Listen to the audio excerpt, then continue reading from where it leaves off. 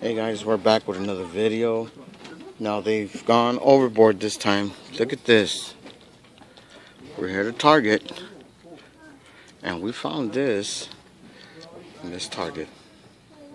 This is so sad. This is what all the scalpers are doing now. This is what it has become. They're becoming greedy. That's not cool. This is not cool. And I hope Mattel knows this shit. Look at that. Are you serious? Look at that. And they're getting too sloppy. They put tape on it. There's tape on this thing. You serious? Wow. Well, guys, keep an eye out for these packages. They're not going to be right. The cars are not going to be right, so make sure you read your cars in the back, okay? So, this is very sad. It's not cool, guys. Ruin it for everybody. Alright, I'll see you guys in the next video. Late.